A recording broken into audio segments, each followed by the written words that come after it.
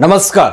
Aryan case में वसूली कांड में प्रभाकर सेल ने एक क्या बड़ा खुलासा कर दिया है और उस वीडियो में आपको सारा डिटेल समझ में आ जाएगा कि किस तरीके से नाम को एडिट करके किस तरीके से समीर वानखेड़े जी को फंसाने की कोशिश करी जा रही थी। लेकिन इसी बीच में ये तो बात करेंगे आगे, लेकिन आपको ये बता दें कि नवाब मलिक पूरे आवेश में आकर के उन्होंने अपने पैर पर खुद कुल्हारी मार लिया है। आज बॉम्बे हाईकोर्ट का जो सबसे बड़ा फटकार और सबसे बड़ी जो समस्याएँ उनके ऊपर गिरी है, वो खुद सोचने लगे हैं कि ये मेरे ज़िंदगी का सबसे ही बुरा स्टेप है, सबसे ज़्यादा तकलीफ़ दे है। क्योंकि जिस तरीके से वो सुबह सुबह आकर के प्रेस कॉन्फ्रेंस करते थे और जिस तरीके से समीर वानखेड़े जी, जो कि एनसीबी के जोनल हेड हैं, उनके ऊपर ना जाने कैसे कैसे आरोप इन्होंने लगाए हैं और बिना सोचे समझे तो इस पर से पूरी तरीके से अब इनके ऊपर कार्रवाई होने लगी। अब कार्रवाई क्या हो रही है, ये बताएँगे आपको। सबसे पहले ये बता दें कि आज बॉम्बे हाईकोर्ट में नवाब मलिक के वकील ने जो जो बातें और जो जो तथ्य रखी थी समीर वानखेड़े जी को लेकर के कि ये अनुसूचित जाति एक हैं और इन ये दाऊद हैं, ये मुस्लिम हैं, इन्होंने अपने गवर्नमेंटल नौकरी पाने के लिए उन्होंने अपने फर्जी सर्टिफिकेट को पूरी तरीके से एडिट करवाई। इसको जाली, जालसाजी करके इसको ठीक करवा करके सरकारी नौकरी लिया।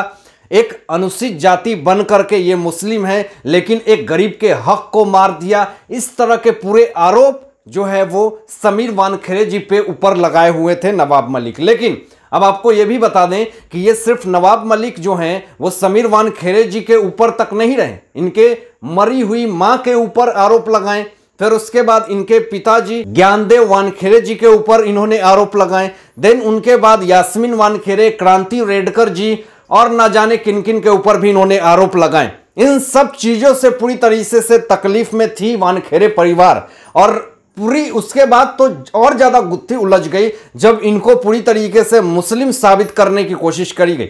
लेकिन आज यहाँ पे बॉम्बे हाईकोर्ट ने पूरी तरीके से जो नवाब मलिक हैं, उनको पूरी तरीके से फटकार लगा दी। क्योंकि जितने भी इन्होंने बर्थ सर्टिफिकेट दिए थे जितने भी इन्होंने सर्टिफिकेट कोर्ट में जमा किए थे, जब उनका क्रॉस वेरिफिकेशन होता है तो वहाँ पे साफ़ ये सिद्ध हो जाता है कि इन्होंने जितने सारे जो फर्जी डॉक्यूमेंट दिए हैं, वो सारे फर्जी हैं, वो सारे एडिट किए हुए हैं। और यहाँ पर पूरी तरीके से जो बॉम्बे हाईकोर्ट है, उन्होंने नवाब मलिक और नवाब मलिक के वकील को पूरी तरीके से फटकार लगाई और कहा कि इतना बड़ा कैबिनेट मंत्री होने के साथ साथ आपने कैसे विदाउट क्रॉस वेरिफिकेशन करने के बावजूद आपने कैसे प्रेस कॉन्फ्रेंस कर लिया? और प्रेस कॉन्फ्रेंस तो कर लिया और बिना सोचे समझे किसी भी प्रूफ पे आपने आरोप पे आरोप लगाने लगे। जब इनके ऊपर मानहानि का केस हुआ, वानखेड़े परिवार की तरफ़ से एक करोड़ पच्चीस लाख रुपए का, तब ये बौखला गए।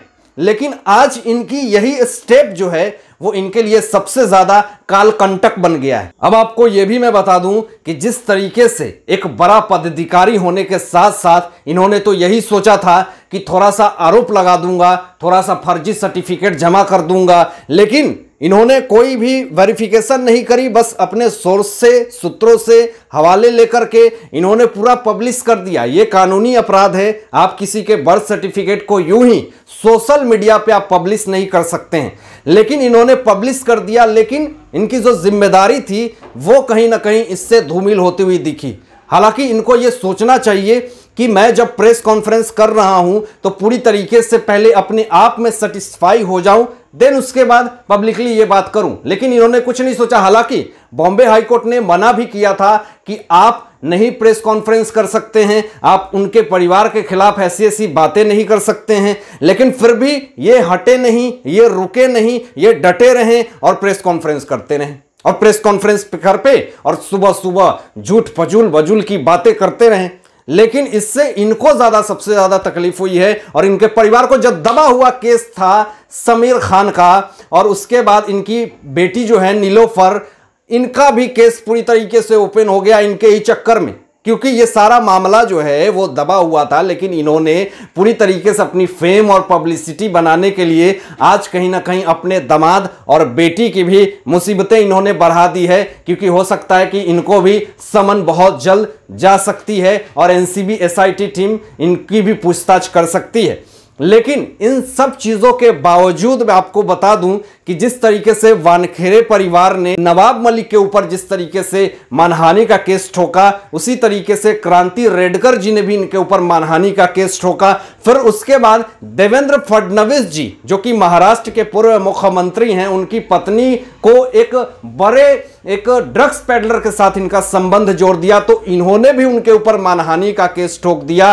बीजेपी नेता मोहित कंबोज हैं, उन्होंने भी इनके ऊपर मानहानि का केस ठोक दिया।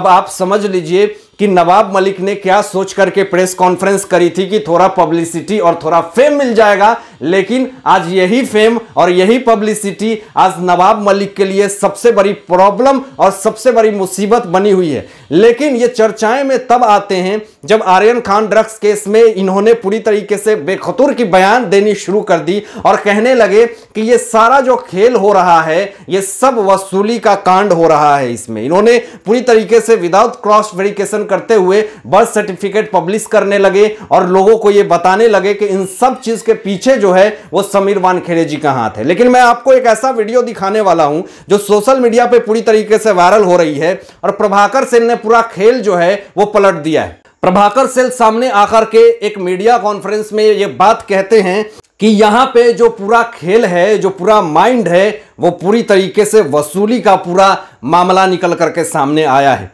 और इसमें पूरी तरीके से ये साबित करने की कोशिश करी गई थी कि इसमें पूरा जो खेल है, जो मास्टरमाइंड है, वो समीर वानखेड़े जी हैं। लेकिन जो वीडियो मैं आपको दिखाने वाला हूँ, उसमें यह पूरी तरीके से प्रूफ हो जाती है, क्योंकि उस रात का जो गवाह है, प्रभाकर सेल ने पूरा केस को सामने ला करके रख दिया है। हालाँकि मुंबई एसआईटी टीम इन्वेस्टिगेशन कर रही है NCB SIT team vigilance team अपने हिसाब से इन्वेस्टिगेशन कर रही है। उसके बाद समीर वान खेरे जी के भी पूछताछ चल रही है। ऐसा नहीं कि समीर वान, जो जो डीडीजी एनसीबी के डीडीजी हैं, ज्ञानेश्वर सिंह ने साफ़ कहा कि मैं अगर पदाधिकारी हूँ, मैं अगर एनसीबी की टीम में काम करता हूँ तो इसका मतलब यह नहीं कि मैं गलत हो सकता हूँ या नहीं हो सकता हूँ या मैं कोई दुरुस्त नहीं हूँ। अगर हमारे में दिक्कतें हैं, हमारे में प्रॉब्लम है तो हम उसका इन्वेस्टिगेशन करेंगे, चाहे वो कोई भी हो। यानी समीर वान खरे जी का भी पूरी तरीके से अभी कार्रवाई चल रही है। लेकिन प्रभाकर सेल ने साफ़ तौर पे ये कहा कि जो उस रात बात हुई थी, सैम डिसूजा, देन उसके बाद KP Gosavi,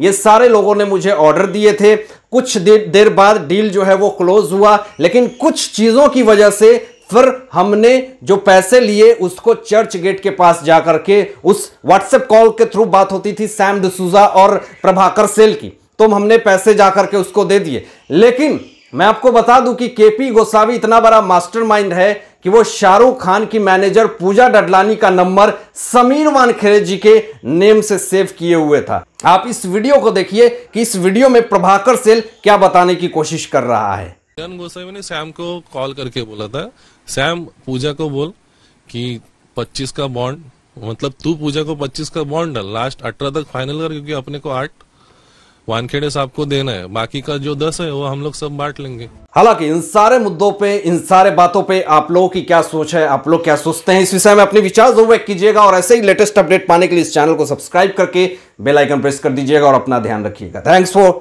watching my video